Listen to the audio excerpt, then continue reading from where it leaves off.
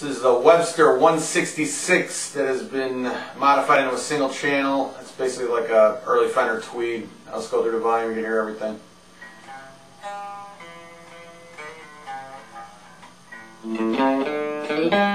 Thank